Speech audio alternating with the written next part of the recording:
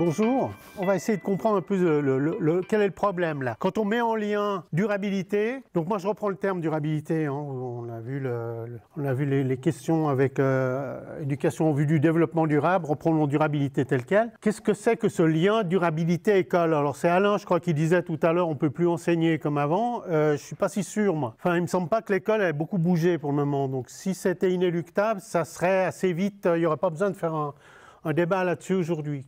En gros, moi, sur la durabilité, quand même, essayer de décortiquer ce que, je vois là derrière. J'y vois d'abord une urgence écologique. Euh, et c'est vrai qu'elle se réduit très souvent à l'idée du, changement climatique. Euh, mais euh, on l'a vu dans l'exposé précédent, il n'y a pas que le changement climatique, comme dans cette urgence écologique. Alors, le, changement climatique, il, a, il revient continuellement sur le tapis à cause de, la, de, de ces conférences régulières, la COP. Là, ça, c'est lors de la dernière COP euh, euh, Glasgow, sauf erreur, c'était. Mais euh, il n'y a pas que le changement climatique. Il faut faire qu'on fasse gaffe, nous, à l'école, c'est qu'on n'est pas là pour faire une éducation au changement climatique tout à coup. On est vraiment dans cette question de durabilité, urgence écologique, et un autre gros morceau qui est quand même la biodiversité. Le recul de la biodiversité, ça a été évoqué tout à l'heure. L'urbanisation, euh, la bétonisation, euh, et puis il y a tous les autres enjeux qui sont derrière. Il ne faut pas oublier l'épuisement des ressources, qu'elles soient euh, renouvelables ou non, euh, les, grands équilibres de l'eau douce, de- de- des océans, de l'air, des sols surtout, qui deviennent extrêmement problématiques. On a une vraie urgence écologique. Mais en plus, ça se double d'une urgence sociale. Il ne faut quand même pas oublier que depuis, grosso modo, 1980, on a passé à une euh, logique de gestion euh, de nos États qui est de type néolibéral, qui a quand même un peu partout creusé les inégalités. On en parlait tout à l'heure, hein, les inégalités, l'importance des inégalités par rapport à l'urgence écologique. Euh, creusement des inégalités, mais aussi tout ce développement aussi de l'individualisation, des mises en concurrence. Michel Lusseau, un géographe qui est intervenu il y a quelques semaines, a écrit un, bouquin qui parle de la lutte des- pour les places. Je dois me bagarrer, je dois me bagarrer contre les autres pour avoir un logement, pour avoir un emploi, pour avoir euh, l'accès à la santé, etc. etc. Et euh, qui, en ville, euh, puisqu'on est quand même dans des territoires de plus en plus urbanisés, amène, pousse vers des phénomènes de ségrégation, de ghettoisation, ghetto de riches, ghetto de pauvres. Il y a, il y une vraie urgence sociale. On l'a vu peut-être exploser en France avec, les élections, mais il faut, faut peut-être pas croire qu'on est no- non plus dans un paradis. Moi, quand je, je ne vois, venant d'une des villes les plus riches, d'un des pays les plus riches du monde, le gros problème politique actuel, celui des sans-abri quand même. Où est-ce qu'on va chercher de l'argent pour essayer d'avoir des logements d'urgence pour les sans-abri? Euh, Urgence sociale, euh, avec aussi cet aspect qui est quand même, pour nous, qui est quand même très problématique, c'est dans cette rupture de la société, ce rejet des élites, ce rejet de leur savoir, ce rejet des savoirs scientifiques, avec ces thèses de complotisme, etc. Et ça, ça nous gangrène très fortement parce que euh, on est au cœur de notre action là. Et si avec ça, ce serait déjà pas mal, mais il y a encore, une, à mon avis, une urgence démocratique qui est quand même forte. Euh, cette méfiance par rapport aux institutions politiques et au pouvoir en place, cet attrait vers des espèces de chefs charismatiques qui vous donnent une doxa. On pense à Trump, on pense à d'autres, à Orban, d'autres. Et puis ce recul de l'idée de participation, je ne sais pas comment vous vivez ça dans vos établissements scolaires, parce que je suis plus trop au courant comment ça se passe réellement sur le terrain, mais il y a un- peut-être que jamais comme euh, avant, on, dit il faut participer. Les autorités publiques disent il faut participer. Or, les instances de participation, les modèles de participation qu'ils mettent en place, sont souvent des modèles qui se réduisent à une vague consultation-information. Mais il n'y a plus un mouvement où on encourage les gens à prendre des projets eux-mêmes dès le départ. Et ça, c'est vraiment une question euh, urgente à régler. faut quand même. Et par rapport à ça, alors nous, qu'est-ce qu'on fait Qu'est-ce qu'on qu'est-ce qu'on fait à l'école? Moi, je le poserais plutôt sous forme de question. Euh, Quand on nous dit, mais par rapport à ça, on ne peut plus enseigner comme avant, mais alors comment ça se fait que les- la plupart des élèves, ben, ils continuent à subir une école qui est semblable? On parlait de la forme scolaire, mais il y a plus que la forme scolaire. il y a urgence dans tous ces plans et tu fais quoi? Bah Moi, j'ai deux heures d'allemand, j'ai une heure de maths et puis euh, après, j'ai une heure de gym. Et une espèce de déroulement comme ça d'une vie qui se passe complètement à, côté. Donc la, question, c'est comment ça, sachant tout ça, ça peut, je reprends la, conférence que, que Michel Lusso a prononcée l'autre jour ici. C'était Anthropocène et euh, lien avec les, savoirs disciplinaires ou pas. Et il dit, mais quand je suis au courant de l'Anthropocène et quand je, prends conscience de ça, dans quelle mesure ça jette un trouble sur moi? C'est un trouble qui me dit, mais attends, est-ce que je peux continuer à enseigner comme avant quoi? Ou comme on dit de faire Alors, bon, euh, mais si je veux penser euh, cette, euh, une autre manière de faire, de faire l'école, il faudrait peut-être que j'ai un modèle. C'est quoi l'école? Comment il faudrait qu'on s'entende là-dessus? Moi, je vous propose rapidement d'abord, peut-être juste un modèle hein, pour essayer de, penser la problématique. Pour moi, la finalité première de l'école, c'est quand même le fait qu'on a décidé que les jeunes se transformaient en élèves, école obligatoire, afin d'acquérir des savoirs. Je prends le savoir au sens le plus large possible. Finalité vraiment première de l'école. Particularité du système scolaire, c'est que ce n'est pas les jeunes tout seuls, ils deviennent élèves parce qu'ils sont dans l'institution scolaire, qui se sont mis en relation avec un savoir, et les profs qui s'occupent de cette mise en relation. Pour le moment, je pose des termes généraux. Est-ce que le maître, il est là pour transmettre un savoir? On entend beaucoup ça quand même. Hein. Ou est-ce qu'il est là pour aider l'élève à se construire un savoir?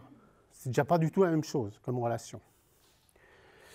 Et alors là, on trouve un, modèle que vous avez peut-être euh, déjà rencontré en didactique. C'est le fameux modèle, le triangle didactique de Vergniaud. Et clair que si le prof il, agit sur cette action élève-savoir, il a une interaction prof-élève, puis lui-même doit avoir une interaction aussi avec le savoir.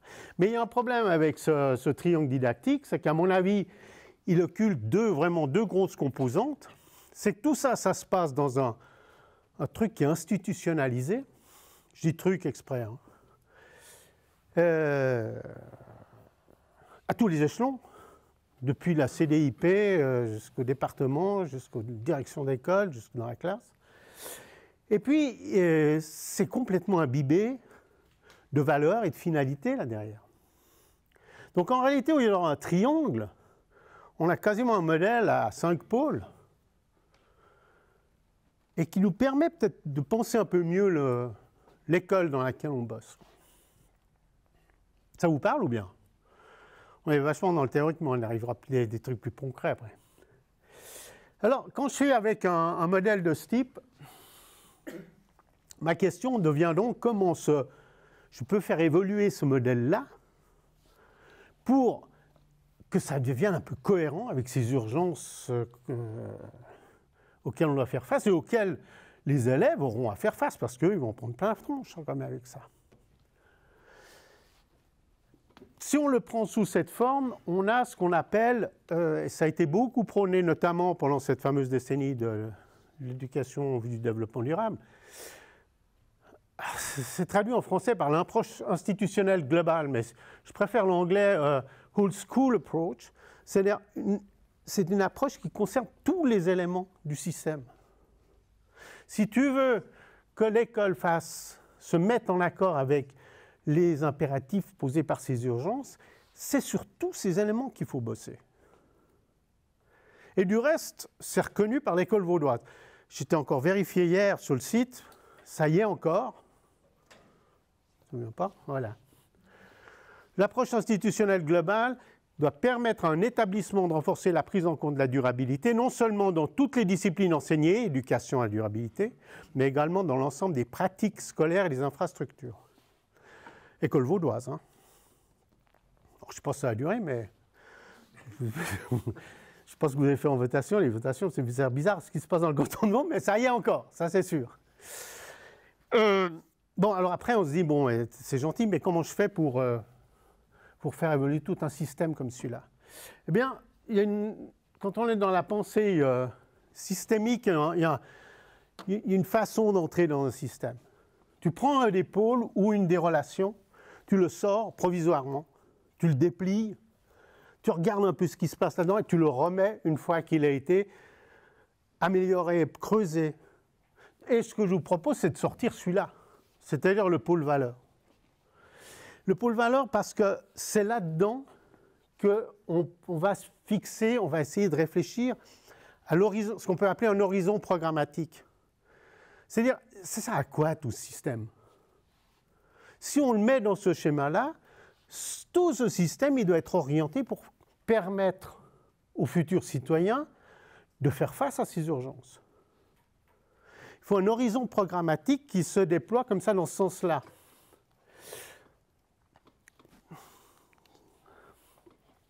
Alors, je rappelle quand même que notre action, elle est dans l'éducation et Douqueret, faire sortir de l'endroit où tu es, permettre de sortir de la situation dans laquelle tu es pour aller vers quelque part ailleurs et me rendre opératoire. Et ce quelque part ailleurs, c'est un horizon d'aller vers davantage de justice sociale, de soutenabilité écologique. Mais si je veux aller vers un horizon comme ça de justice sociale et de soutenabilité écologique, ça veut dire qu'en tant qu'élève, il faut essayer de le faire sortir de sa condition d'élève là progressivement pour aller vers une émancipation collective, un pouvoir d'agir en collectif, parce qu'on ne va pas s'en sortir face à ces urgences si c'est juste renvoyé à l'individu. Et qu'on forme des citoyens qui soient, d'abord des citoyens, mais citoyens pas avec le, le droit de vote, citoyens parce que je m'engage dans la chose publique, je m'engage dans la chose du collectif, responsable, critique, et surtout apte à se forger des opinions construites. Voilà, ça c'est un peu le programme, c'est l'horizon programmatique. C'est vers ça que ce système il devrait aller. je mets là-dessus des mots, je mets là-dessus des intentions. Et ça me donne ça. Alors après, vous voyez le, euh, l'étape suivante, l'étape suivante, c'est de dire bon, mais si je fixe ce, pôle-là, quelle action, quelle, influence ça avoir sur les autres pôles et sur ces liens? Voilà comment je vous propose de, réfléchir un petit peu à cette mise en lien de l'école et de ces trois urgences. Ça vous va? Alors, on va prendre deux, trois exemples. Je ne vais pas faire tout, tout le balayer tout le truc, mais parce qu'il y a à faire. Mais il ne faut pas se laisser dévorer par dire mais je suis impuissant par rapport. Vais pas, vous n'allez pas bouger tout le système. Ce n'est pas vous individuellement qui allez bouger la CDIP ou même le château, comme vous dites ici. Hein. Par contre, peut-être dans la classe, il y a un petit truc à faire peut-être déjà. Et puis avec des collègues dans l'établissement. Alors, on en prend un ou deux comme ça de ces éléments du, euh, du système. Un qui est simple, peut-être au début, euh, c'est le pôle institution. Alors simple, on va le simplifier, on va aller chercher du concret là-dedans. Parce que l'institution, c'est évidemment, c'est tout tout l'ensemble de règles, c'est tout l'ensemble des pouvoirs, c'est tout ça, mais il y a aussi quand même quelque chose de très matériel et très concret, c'est que ça se localise à un endroit et que ça prend la forme d'un bâtiment quelque part. Alors prenons d'abord ça. Et si je pensais, et si on pensait, collectif, le bâtiment? Il appelle à quoi ce bâtiment? Il est en accord avec ses urgences. Quand vous sortez là, vous allez dans un magnifique parking. Je ne pas si vous remarqué, mais c'est un appel à venir en bagnole. C'est un puits de chaleur en été. Si on dégrappe un, truc, un parking comme ça, on participe aussi à, la qualité des sols. On peut faire penser en termes de, couloirs euh, euh, de biodiversité. Euh, ça peut être dans un projet de dire mais qu'est-ce qu'on fait avec, nos déchets dans notre école? Est-ce que notre bâtiment et notre façon de vivre dans le bâtiment, en termes de gestion des déchets, il, contribue à cette idée d'urgence écologique? L'énergie, l'alimentation, s'il y a une CAF, etc. Mais il y a un élément qui est capital, c'est que si on se lance sur un projet comme ça, avec un groupe, avec une classe, avec un ensemble, avec un établissement, Ça implique, puisqu'on est dans, euh, ces trois urgences, ça implique, pardon, ça implique de s'interroger sur la manière de lancer ce projet. On ne sera pas du tout dans la bonne perspective si c'est le directeur qui décide de tout, qui désigne la classe qui doit faire le truc, qui va ramasser les déchets dans la cour, ce genre de truc. C'est là que la participation vient. Alors j'ai pris le terme gouvernance parce que c'est un terme de, des nouvelles gestions publiques maintenant qui, qui écrase la durabilité justement. Donc c'est un emprunt comme ça. Mais comment est-ce qu'on va faire ces projets? Comment est-ce qu'on va participer à faire ça? Comment est-ce qu'on va pouvoir, grâce à un tel projet, faire démocratie? Voilà une illustration. Ça vous parle bien On voit bien qu'ici, on est à une échelle qui est maîtrisable pour nous, profs. Parce que cette échelle, je peux descendre d'un cran, je peux le faire aussi dans comment j'organise la vie de la classe, comment j'organise l'espace classe. Je prends un autre. Euh, là, on va dans le dur un peu là. Un autre, élément du, système, c'est le savoir. Puisque le but de l'école, c'était quand même de, mettre, de permettre aux élèves d'acquérir des savoirs. Et si on met ce lien savoir-institution avec ce programme, cet horizon programmatique, là, ce lien ici, qui est un lien qui est quand même fondamental, c'est les plans d'études il y a la question qui va dire, mais quels sont les savoirs qu'on devrait faire acquérir aux élèves dans une perspective comme celle-ci Et là, pendant la décennie, donc c'était 2005, 2014, 2004, 2014, il y a eu pas mal de boulot qui ont été faits. Malheureusement, euh, Julia Steinbrugger l'a montré tout à l'heure, on avait une option assez claire depuis... Euh, je ne sais pas si je peux partir dans toutes ces histoires, tu me dis le temps un peu. Hein. Non, mais on est arrivé avec les sommets de la Terre. Il faut, prendre un petit peu les, sommets de la Terre comme ça. 72, c'est le sommet de la Terre à Stockholm.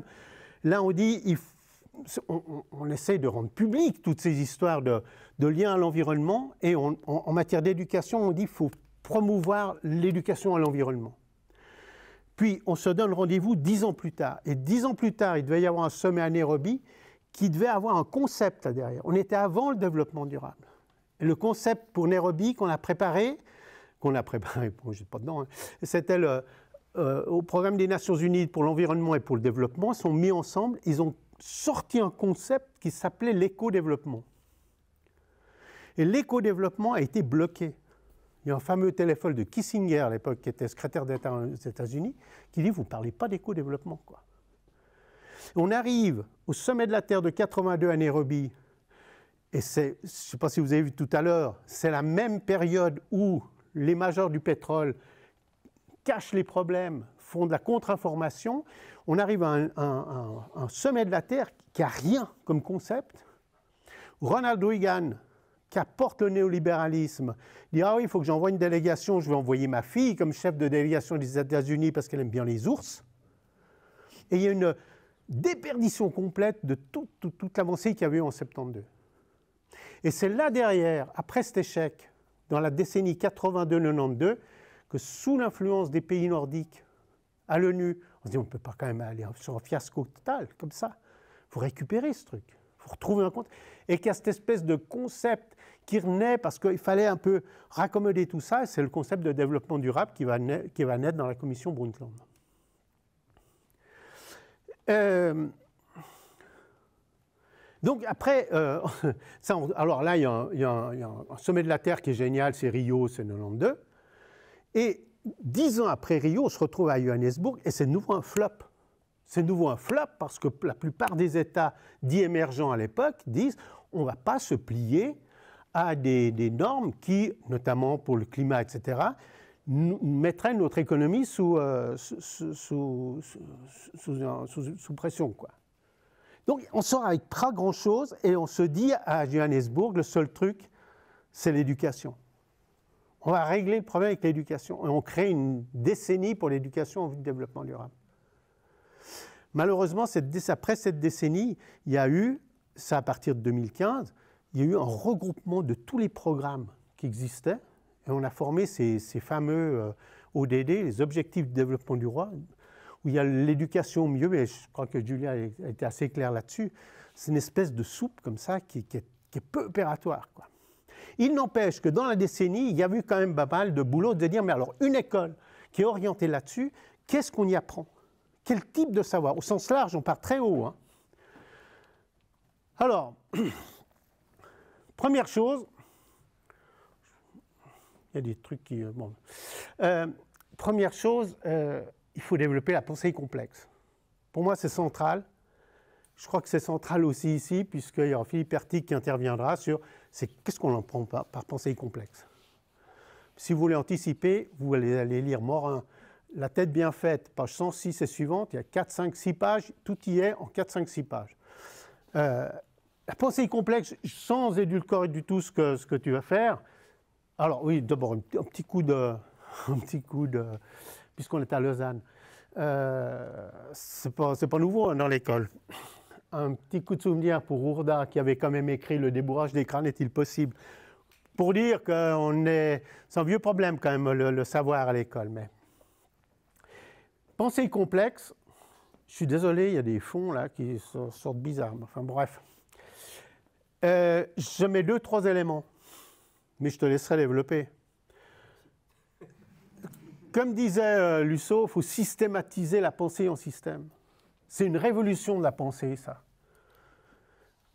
Arrêtez de penser seulement linéaire, en cause, conséquence, but. Pensez système. Et notamment, ça doit permettre de sortir du dualisme humain-nature. Remettre l'humain dans un système qu'on a appelé depuis les années 60 la biosphère, mais enfin, recréer tous ces liens en pensant système. Notre élément de pensée complexe, c'est quand on a des éléments comme ça qui semblent s'opposer, les mettre en tension dialogique. Ça, c'est Morin. Ce n'est pas exclusif. Ce n'est pas l'opposition. C'est vraiment à mettre en tension dialogique comme ça. Mais ça, je te, reprends, je, laisserai reprendre tout ça. Et puis, pas oublier ça, c'est que, et ça, c'est capital pour nous. Si la partie est dans le tout, pas oublier que dans la partie, il y a souvent le tout. C'est pour ça que le moindre des objets, le moindre des éléments peut faire l'objet d'un sujet d'étude en classe. Prenez un téléphone portable, il y a toute la problématique de la durabilité dedans. Autant en termes de ressources, en termes de, de vie sociale, enfin tout y est quoi. Mais il faut aller chercher dans la partie ce qui fait, ce qui est représentatif du tout. Pensée complexe. Euh, deuxième élément, alors ça, tu, tu passer en termes de spécialiste de la problématisation, mais ça, je suis très très surpris de ce qui est en train de se passer. Pour moi, c'est capital. C'est-à-dire que si vous voulez former des gens qui soient aptes à affronter ces urgences, il faut d'abord qu'ils apprennent à problématiser. On est dans une école, on apprend beaucoup trop à répondre à des questions qu'on ne se pose même pas. On fait un, répond aux questions. C'est le prof qui a les questions, c'est le manuel qui a les questions, le moyen d'enseignement qui a les questions. Mais les questions, ça se façonne, ça se construit. Ça, on peut le faire dans la classe. Hein. Avoir ce sujet, on prend du temps. Quel est le problème? Comment se pose le problème? Le, j'ai mis cette petite citation de Lusso qui nous rappelait quand même quelque chose de bizarre, c'est qu'il me semblait que dans, dans les perspectives années 2000-2010, ça a été assez mis en évidence, c'est monté dans certains moyens d'enseignement, euh, cette idée qu'il fallait faire des phases de problématisation avec la classe, avec le groupe. Puis tout à coup, ça s'étiole comme ça. Ça devient de moins en moins présent, l'exigence d'apprendre à problématiser. Pourtant, le savoir des questions, ce n'est pas le savoir des réponses, hein, disait Fabre. Et c'est peut-être pas étonnant que ça s'étiole. Prenons cette réflexion de Lusso qu'il a fait l'autre jour. Le système consumériste, il se fonde sur l'exigence de rendre aveugle les conditions même de cette consommation. Il ne faut pas qu'on se pose trop de questions. Le néolibéralisme ne repousse pas les problèmes des finalités. Il faut que le marché soit le plus libre possible, puis, il apportera, puis après, il faut apporter des corrections. Alors, comment on fait? Mais on ne va pas se reposer les questions de la finalité. C'est impressionnant cette prise qu'il y a sur l'école. Alors évidemment, ça prend du temps. Hein. On peut le revendiquer, ce temps. Parce que si c'est ça l'apprentissage de base, j'y vais, je prends du temps pour faire la problématisation. Un des éléments qui me semblait clair aussi, c'est euh, apprendre à clarifier ses propres valeurs, les valeurs en jeu. Parce que souvent, il y a des conflits de valeurs. Et pas dire c'est comme ça. Là, il y a un affrontement parce qu'on n'a pas la même valeur. Pourquoi les, les majors du pétrole, ils ont caché les, évidences scientifiques qu'ils avaient, euh, qu'ils avaient découvertes? Et des valeurs de compétition, de concurrence, de profit, d'immédiateté par rapport à long terme, etc. Mais c'est des conflits de valeurs, ça, qu'on peut mettre en tension dialogique. Et puis, il y a le, en termes de savoir au sens très large aussi, c'est moi je dirais presque du plaisir d'aller se projeter dans l'avenir en sachant qu'il est incertain. Alors que quand on parle maintenant souvent de durabilité, on dit qu'il y a de l'éco-anxiété.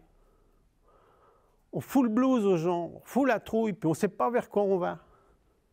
Mais on peut transformer ça par, une éducation en disant, mais Dieu, c'est intéressant quand même. On creuse, on y va. Comment on fait? Comment on cherche? Comment, comment, comment on affronte ça? Bien sûr que c'est incertain, on ne sait pas vers quoi on va.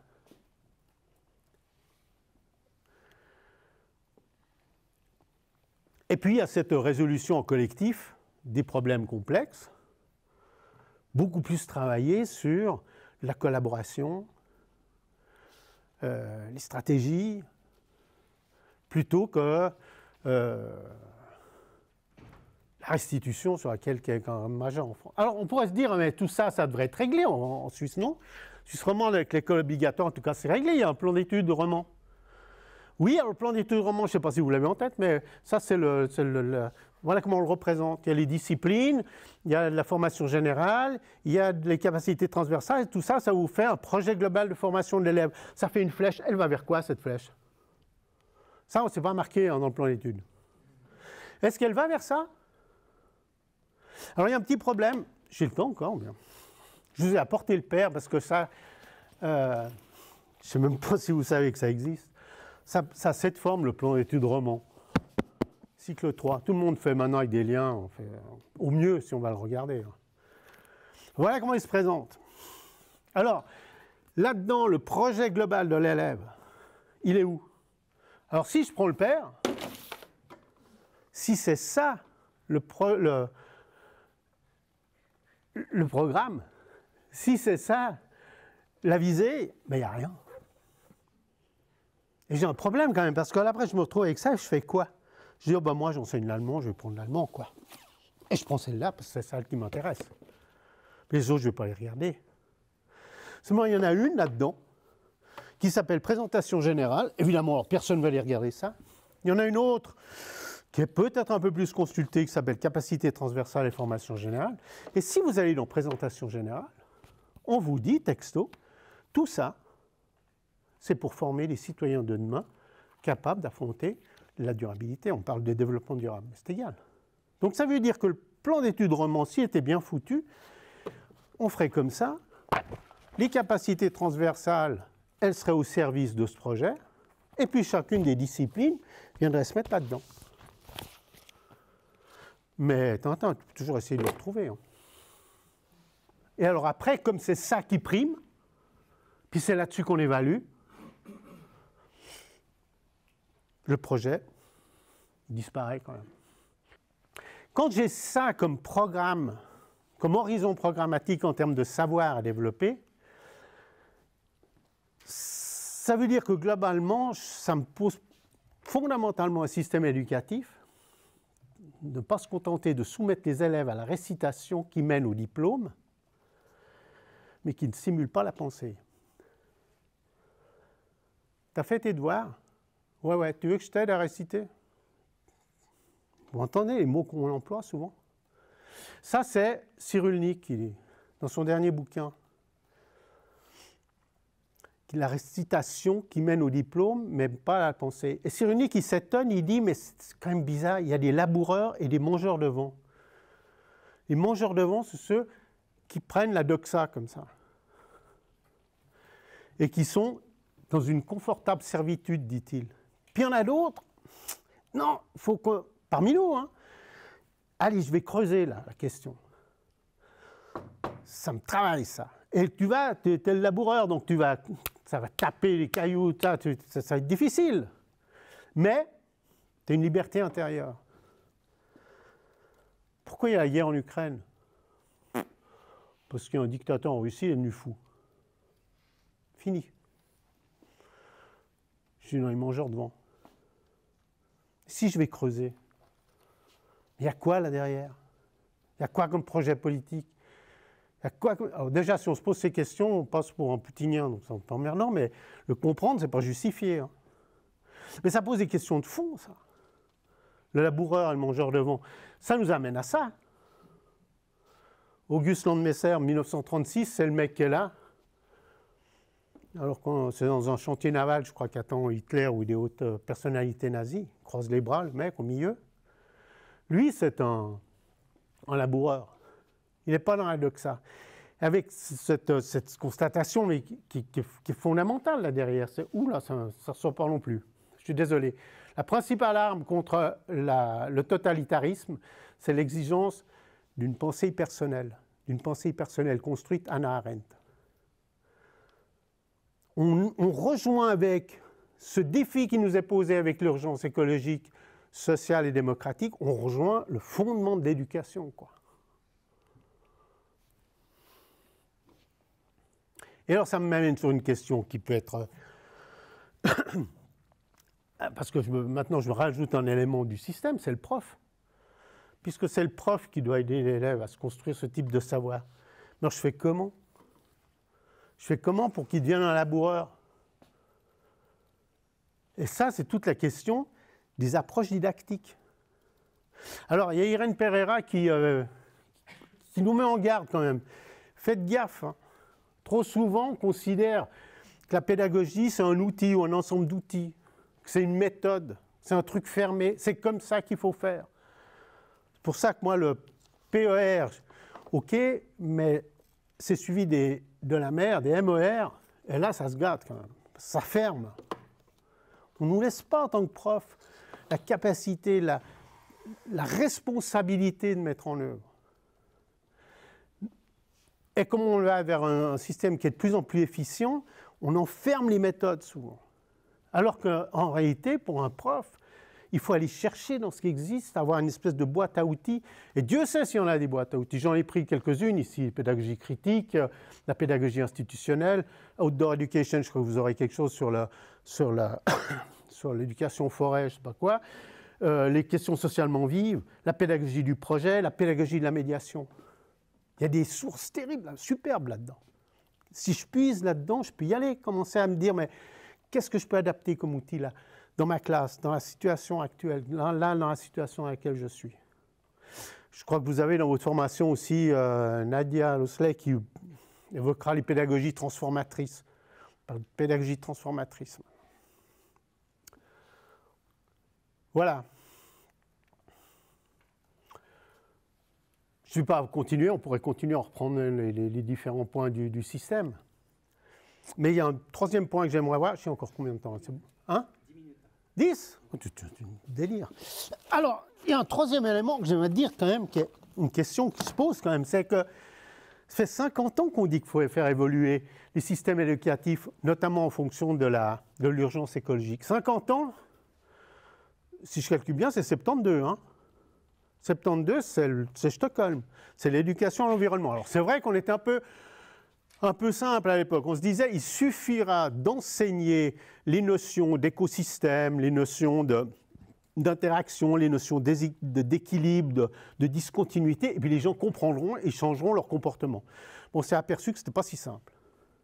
Mais on avait déjà dit en 72, il faut changer ce système éducatif et qu'il n'y a rien qui bouge.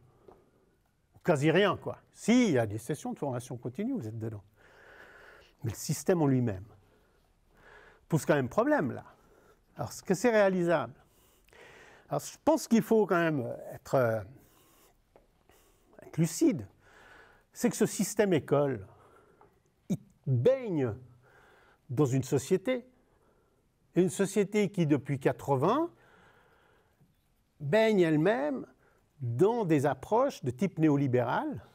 Et c'est Bludorn qui, déjà en 2000, disait Mais cette imprégnation des idées néolibérales, elle amène un changement social, changement de perception des, générale des choses.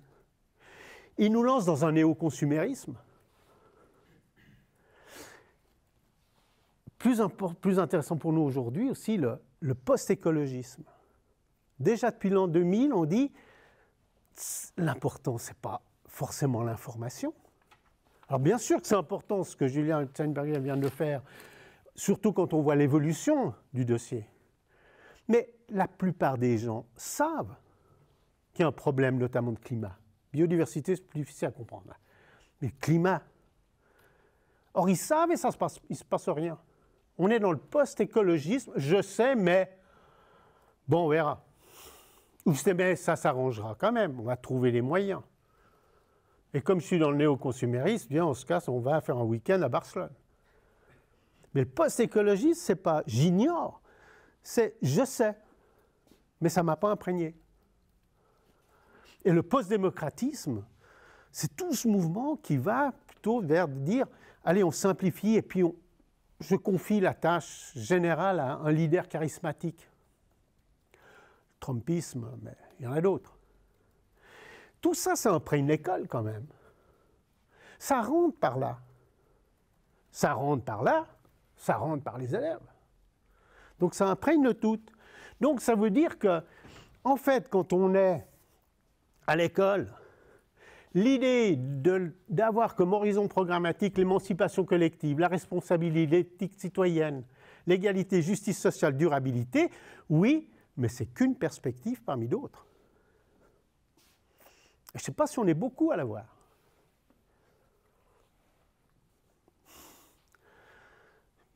Il faut dans une salle des maîtres après. Moi, j'avais cet avantage, c'est quand j'étais à l'UNESCO, j'étais dans la décennie, j'étais à Paris euh, le, jeudi, le vendredi, et puis on discutait du monitoring de la décennie, ce qu'il fallait faire pour faire avancer les pays, tout ça. Puis j'étais dans ces discussions, je me disais, et lundi, moi, je suis dans la salle des maîtres. Et je voyais tous mes profs, là, les plus réacs, qui ne rien bouger. Je me dit, mais c'est deux mondes différents. Quoi. Bon, c'est une perspective. Mais alors, qu'est-ce qu'il y a comme autre perspective? Je vous en sors quatre, parce qu'à mon avis, elles sont très fortes à l'heure actuelle. Une autre perspective, c'est celle de l'employabilité.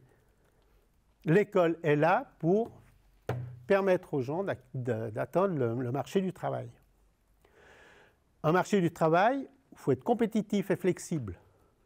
Là, il y a un projet néolibéral maintenant. Je rappelle que le projet néolibéral, contrairement au projet hyperlibéral, il dit qu'il faut que les États s'occupent, prennent en main l'éducation de base. Parce que si on la laisse au marché, on est foutu.